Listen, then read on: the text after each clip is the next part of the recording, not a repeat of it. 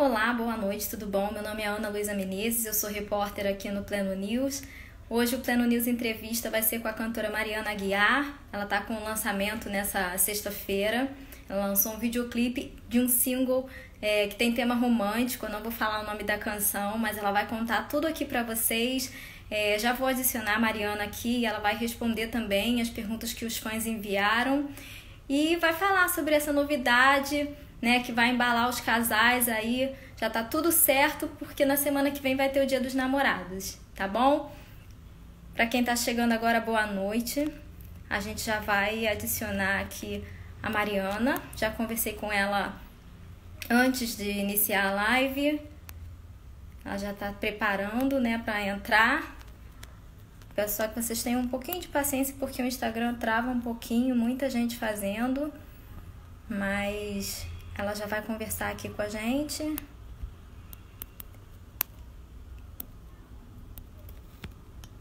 E já vou adicionar. Só um instante, estou enviando aqui o convite. Boa noite para quem está chegando. Estou tentando responder o pessoal.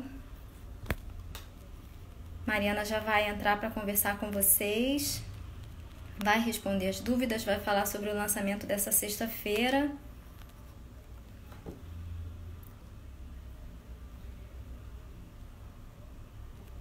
Boa noite.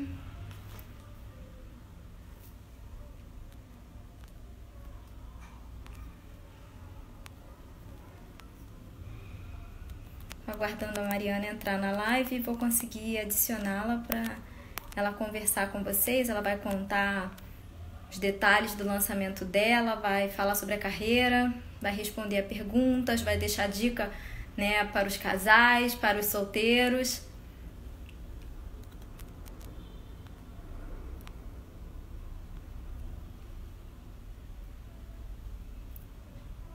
vai conversar com vocês. Quem tiver alguma pergunta, só colocar aqui nessa nessa caixinha de perguntas e eu vou repassar para ela, tá bom?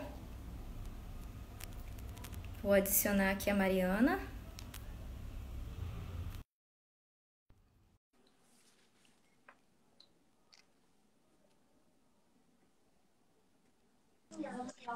Olá, Mariana, tudo bom? Oi, tudo bem? Boa noite, que bom receber você aqui no Pleno. Boa noite, obrigada pelo convite. Eu estava aqui falando para o pessoal, a gente já divulgou no Pleno, né? A sua novidade dessa sexta-feira, mas eu não quis falar o nome do single, nada disso, que eu falei que você que vai explicar tudinho. Mas você está com um lançamento romântico nessa sexta-feira, né? Teve o single e o videoclipe. Eu queria que você falasse um pouco sobre isso para o pessoal. Eu vou fazer outras perguntas, porque os fãs enviaram bastante. Eu vou filtrar algumas aqui.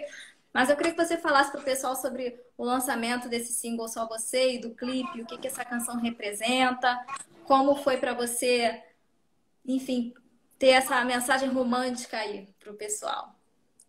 Então, boa noite, gente. Primeiramente, quero agradecer novamente o Pleno.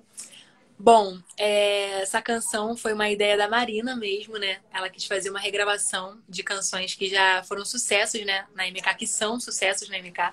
E essa canção é do Anderson Freire, é a música Só Você. É uma regravação que nós fizemos, numa, demos uma adaptação, fizemos uma roupagem mais atual, colocamos a nossa identidade e agora numa versão feminina, né? Ah. Agora para esposas cantarem para seus esposos aí no dia do casamento. Legal. E conta pra gente, assim, como que foi a gravação do clipe, né? Ficou muito bonito, as imagens estão muito bonitas. Como que foi, assim, trabalhar as ideias, né? Pra, que vocês quiseram passar no, no clipe, essa ideia toda romântica. Mas como que foi? Conta aí pra, pra gente. Então, essa canção, ela, como eu disse, é uma regravação e surgiu uma ideia dos produtores que fizeram o clipe de fazer uma, um clipe linkado com o clipe da Bruna, que vai ser lançado na semana que vem. A Bruna Carla também vai fazer uma regravação. E o clipe dela, na verdade, o meu clipe complementa o clipe dela. O meu Legal. clipe é o desfecho da história que vai ser contada lá no clipe dela. Então, é. assim, a gravação foi, foi um pouco cansativo, porque foi o dia todo. Mas é o que eu tava falando na live que eu fiz agora na, com o pessoal da MK, que é muito gratificante, sabe? Quando você se dedica, sabe? A gente sua camisa para poder fazer um trabalho legal, mas no final a gente recebe aquele aquele projeto finalizado, sabe? Tão lindo. É muito gratificante. Foi a gente gravou lá na Casa Rosa, lá na, no Alto da Boa Vista. O dia tava um dia lindo de sol. E a gente levou o dia inteiro fazendo a gravação, mas ficou muito lindo. Quem conferiu lá no YouTube da MK sabe do que eu tô falando. ficou muito lindo. E foi isso. A produção musical é do Tadeu Schuff e a direção vocal é do Jairo Bonfim. Gente, ficou muito bonito mesmo. Só o pessoal conferir, porque a canção também é, tá linda. Tá tudo lindo, graças a Deus. A voz, tudo lindo, né, Maria? Obrigada. E conta pra gente aí, é, como é que você é? Você gosta muito desse, desse tempo de, de. Você é romântica? Você gosta desse período de Dia dos Namorados? Você curte? Como é que, como é que você encara esse, esse período? Então, por incrível que pareça, eu não sou muito romântica. É mesmo? por incrível que pareça. O romântico lá em casa é o João. O João é muito, muito mais, muito mais romântico que eu. Eu, eu gosto muito de cantar canções românticas. Na verdade, essa paixão surgiu no meu casamento. Eu não ia cantar música nenhuma no meu casamento.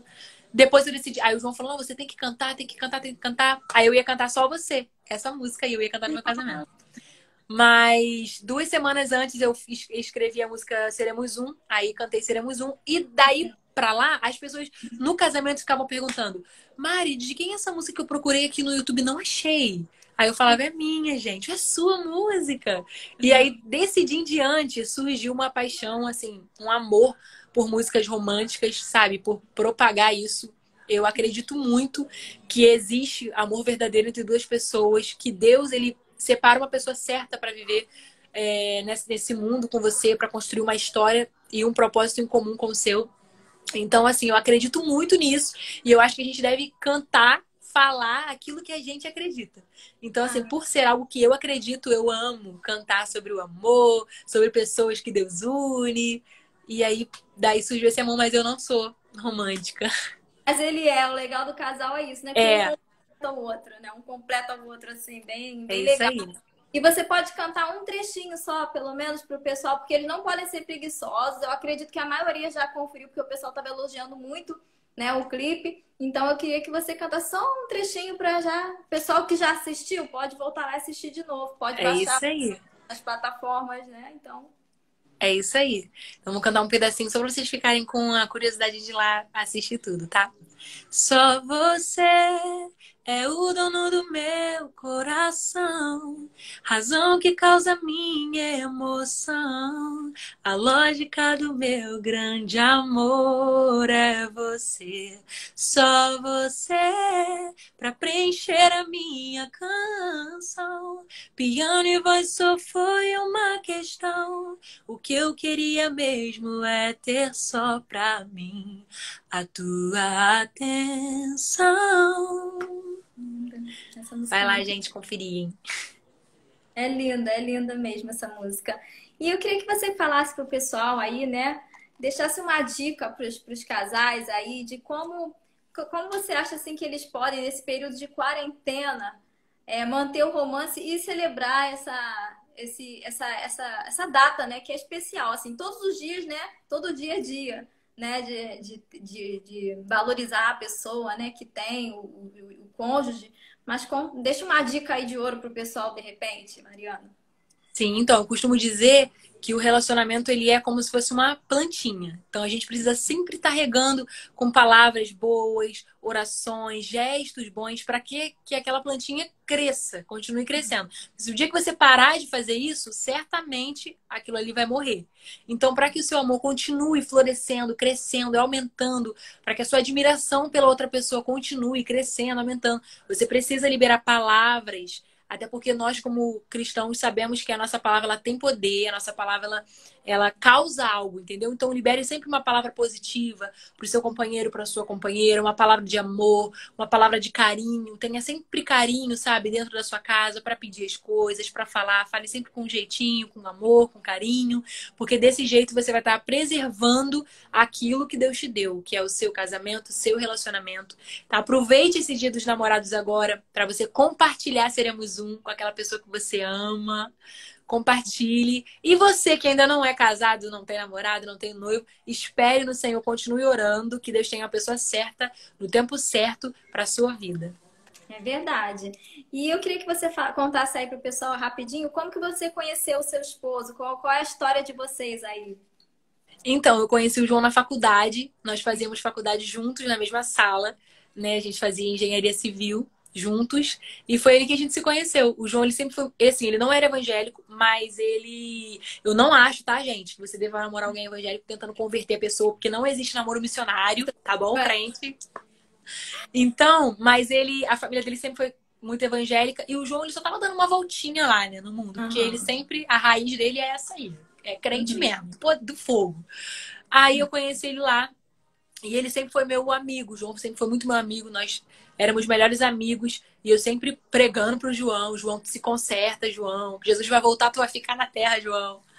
Aí eu fiz um convite para ele, para ele num encontro com Deus lá na nossa atual igreja. E ele aceitou, ele passou pelo encontro, ele teve a vida totalmente transformada, sabe? Ali o João conheceu Jesus de fato. Hoje as pessoas que conhecem o João, elas nem acreditam que o João um dia não foi crente, porque ele, ele é aquele crente chato, entendeu? Ele é raiz. Então, assim, aí depois que ele passou pelo encontro e tal, ele mudou a vida dele completamente as atitudes e tudo, porque assim, Jesus vem, diz, né, vem como estás, ele foi do jeito que ele estava, mas ele não ficou do jeito que ele estava, ele mudou as atitudes, o jeito, e ele realmente foi convertido pela palavra de Deus, ele foi convertido pelo Espírito Santo. E daí, um tempo depois, a gente começou a namorar, um ano e oito meses a gente se casou. Hoje nós temos três anos e três meses de casado, cinco anos juntos. E o João, ele é um homem de Deus mesmo, evangelista da casa do Senhor, apaixonado por vidas, muito comprometido com as coisas de Deus, sabe? Mesmo, muito comprometido mesmo e muito responsável com as coisas de Deus, com o evangelho, com, com o que a gente leva, né? Porque a gente sempre diz que nós somos. É, as pessoas precisam ver Jesus na gente, sabe? Senão a gente acaba manchando é, o nome dos evangélicos, dos crentes, vão falar, ah lá o crente, ah lá, aquilo ali diz que é crente. Então a gente tem que ter essa responsabilidade sim, porque a gente carrega é a marca de Jesus, né? Então ele assim é muito comprometido em relação a isso, muito responsável com as coisas de Deus. E mas foi na faculdade mesmo que a gente se conheceu. Legal.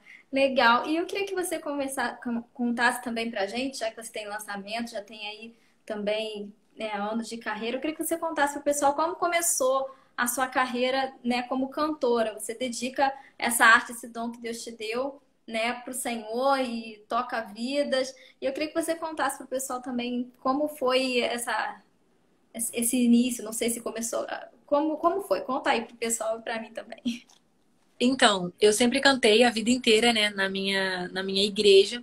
Mas eu só cantava na minha igreja mesmo. Eu não achei que eu fosse viver, assim, seguir uma carreira musical. Só que um dia, o meu primo foi fazer um clipe lá na nossa casa de oração. Eu tava lá participando e uma hora ele cansou. O clipe ele cansou. Ele falou: ai, cansei, não tô mais aguentando, porque eram quatro. Ele ia gravar quatro. E quem grava clipe fala, sabe que é impossível você gravar quatro em um dia só. Aí ele cansou e falou: Mari, vem cá, eu quero que você grave, vou te dar de presente. Daí ele me deu de presente, eu sentei lá assim, do jeito que eu tava, gravei a minha mãe, filmou do telefone dela. E no dia seguinte, ela começou a mandar para todo mundo aquele pedacinho que ela tinha gravado. Chegou até a MK, não me pergunte como, sei que chegou até alguém da MK, e eles pediram o um vídeo. E aí eles gostaram do vídeo e tal. E aí eu assinei o contrato com a MK. E daí pra lá eu comecei a levar a música como algo mesmo profissional. E aí eu venho crescendo, né? Eu, eu digo sempre isso, que eu olho um trabalho anterior e um atual e sempre falo assim, caramba, meu Deus. Então, acho que bom que a gente tá crescendo, evoluindo, né? Verdade. Mas é assim, é sempre uma da outra, sempre uma, uma mudança atrás da outra, uma mudança atrás de outro, né? Dos trabalhos. E aí foi assim, assim que eu cheguei até a MK, assim que eu comecei a, a eu fazia engenharia civil, gente, engenharia nada a ver, né, com a música. Mas eu sempre tive essa veia é, voltada para música. Meu pai toca sax, a minha mãe canta, minha família todos são músicos ou cantores. Todo mundo tem, todo mundo é envolvido com coisas de música. Amanhã vai ter uma live lá no meu YouTube, ó, eu fazendo propaganda. Vai ter uma live lá no meu, no meu YouTube, no meu canal no YouTube, às 8 horas. E quem vai estar tá tocando para mim? É o meu cunhado, o meu primo e meu outro primo. Então, que ou beleza. seja, a família é cheia de música. Show! E conta pra gente, assim, com tanta, você tem muita referência já dentro da sua casa, né? Mas você também tem referências assim fora, como que foi assim, essa sua formação musical, além do pessoal todo da família, que já é super legal? Sim, então, eu cresci na Assembleia de Deus, então assim, eu tenho grandes referências no pentecostal. Amo pentecostal. Amanhã vai ter pentecostal na minha live, vai ter música raiz. É, então, assim, maravilha. Shirley Carvalhais, Cassiane, sempre gostei muito. Fernanda Brum, Bruna Carla. A Bruna, eu conheço o repertório todinho da Bruna, tá? Todo, do primeiro CD até o último. Eu tinha todos os CDs da Bruna. Eu, muito fã. Sou muito fã. E depois que eu conheci a Bruna pessoalmente, aí eu me tornei mais fã ainda mais fã ainda. Amo a Bruna. Fernanda Brum. Todas elas sempre foram uma grande referência para mim, sabe? Muito, uma grande referência para mim. É... E agora, né, eu, a minha igreja, ela é mais voltada para o louvor worship, então eu canto muito isso na minha casa de oração. Amo ministrar é, adoração, porque eu acho que a nossa a intenção, assim, na hora do culto mesmo é levar as pessoas a adorarem, levantar as mãos e glorificarem, se renderem, se derramarem. Então, assim, é, eu amo também é, ministrar worship, tem vários, várias referências também para isso. Tasha Cubs, Alessandro, Alessandro Vilas Boas e mais um montão aí que a gente escuta. Eu costumo dizer que eu sou. Eu não tenho como dizer assim uma referência, porque eu escuto todos, todas as, todas as pentecostal, internacional, tudo, entendeu? Eu escuto de tudo. Então, eu sou bem eclética, gosto muito e eu acho que se fala de Jesus, se fala do amor de Deus, a gente tem que ouvir mesmo. Não tem que levantar a bandeira de um ritmo só, de um estilo só, porque Jesus é o dono dos ritmos e é para ele toda a glória. Amém, graças a Deus. Que a palavra de Deus ela não volta mesmo vazia. Cada canção, né, de um cantor assim, de um grupo, fala muito aos corações. Então não tem, às vezes a gente, né, Deus fala com a gente em tantas canções, é difícil realmente ter uma limitar de referência. É, verdade. verdade. E eu queria que você falasse, você disse que conseguiu, você compôs a canção do seu que você cantou no seu casamento. Como é assim compor? E nessa quarentena você está conseguindo compor alguma coisa? Conta para o pessoal como que nasce uma música. Então, é... tem gente, uhum. as pessoas que tocam um instrumento, na verdade, para elas é mais fácil. Uhum. Eu não toco nada ainda, né? Mas eu vou tocar. Então, assim, é mais complicado porque você não tem uma, algo para você se basear, para você se guiar ali naquela linha melódica. O que que acontece, o que acontece comigo? Eu é do nada assim, eu tô tomando banho, eu tô fazendo meu devocional, eu tô falando com Deus e vem uma música pronta. Por exemplo, seremos um eu fiz duas semanas antes do meu casamento, assim, sentei, comecei a pensar, veio na minha cabeça e rapidinho eu gravei para não esquecer. Disse sim. Eu acordei de madrugada para tomar beber água, acordei com muita sede e a música veio na minha cabeça, falei, gente, isso é uma música. Eu acho que essa música não existe não. Aí gravei no meu telefone, no dia seguinte foi procurar, realmente não existia, era uma música, era uma composição que tinha vindo três e pouca da manhã para mim. E geralmente as minhas composições elas vêm assim, sabe? Se eu sentar para compor, até vai sair alguma coisa. Mas não é aquilo que eu, que eu que me agrada assim realmente. Mas quando eu tô fazendo o meu devocional, orando, falando com Deus assim em casa, sabe? Dando uma viajada assim em casa, falando com ele. Aí vem umas músicas assim prontinhas. Eu pego o telefone rapidinho e gravo, senão até esqueço. Gente, muito legal. E vem cá, o pessoal ficou curioso, teve gente pedindo aqui, você pode cantar um trecho de, de Somos Um, você pode? Claro. É... Lembrei. Que eu tinha perdido ela aqui, peraí. Eu sei que não é passageiro, meu amor. O levarei aonde for, esperarei e viveremos juntos e seremos um em Deus. Gente, que linda! Obrigada. Linda. Mas são, são muitas canções bonitas mesmo que você tem, são lindas. Graças a Deus. Deus é muito bom, né? Ele inspira, assim, que cada canção linda. Essa, então, nova também sua. E essa que você cantou agora também é muito bonita. O pessoal vai correr lá para ouvir de novo, porque eu não tinha ouvido, mas que benção. Já deixei anotado aqui também para mim. É, eu queria que você contasse para o pessoal, é, se você, você já contou, né, que vai fazer uma live. E eu queria que você contasse se vai ter um lançamento, mais algum single, o que, que você mais está planejando aí, porque os fãs são assim, né? A gente já falou que você teve um lançamento hoje, o pessoal, mas vai ter mais algum lançamento? Mas o que, que mais vai ter de novo? Calma, então estou repassando aí para você. Com certeza, a gente está preparando mais os lançamentos. Tem mais duas músicas dentro do estúdio já para a gente poder mandar para frente. Duas composições do Pastor Lucas. São canções lindíssimas. Uma vai ser feat, então aguardem. É, o, eu tenho um canal no YouTube também. Toda semana tem cover novo lá no canal. Então, se você não conhece meu canal, Mariana Guiar lá no YouTube, se inscreve lá no meu canal, ativa o sininho pra não perder nada. E amanhã temos uma live, né, que a gente tá preparando com muito carinho, uma expectativa lá no alto para essa live de amanhã. Eu tenho certeza que Deus vai fazer grandes coisas ali, então não perde amanhã, 8 horas da noite, lá no meu canal Mariana Guiar no YouTube. Ai, que show, vai ser muito bom. Imagino, só, só tô imaginando. muito obrigada porque você aceitou conversar com a gente. Eu tenho certeza que abençoa muito pessoal, a sua história, é, você contando né, de como Deus te inspira. Eu acredito que inspirou também o pessoal. É, essa live vai ficar salva aqui no feed do Pleno News, porque é um conteúdo que abençoa muitas vidas, com certeza, essas canções Amém. abençoadas e né, o testemunho que você tem. É, o, nosso objetivo é esse, nesse período de quarentena, levar realmente esperança para as pessoas. E nesse tempo também o romance, manter aí também a chama acesa do, dos, é. casais, né? Então, muito obrigada, boa noite a você. Tá bom, eu que agradeço a todo mundo do Pleno News. Muito obrigada pelo carinho, pelo convite. Muito obrigada também por espalhar o amor de Deus e a esperança nesse tempo que nós estamos precisando. Realmente é muito importante ter instru instrumentos de Deus nessa terra para propagar o amor e a palavra dele, assim como é o portal do Pleno News, que espalha notícias é, sem fake news tem uma responsabilidade, um compromisso muito grande com as pessoas. Eu agradeço a vocês por esse compromisso, essa responsabilidade, também com o Evangelho, com a palavra de Deus. Muito obrigada pelo carinho, mesmo, e podem me chamar mais vezes, que eu venho com o maior prazer. Vamos sim. Estamos só esperando os lançamentos, porque a gente já está doida aqui já para divulgar, viu? Então tá bom. Obrigada. Boa noite a todos. Boa noite. Tchau, tchau.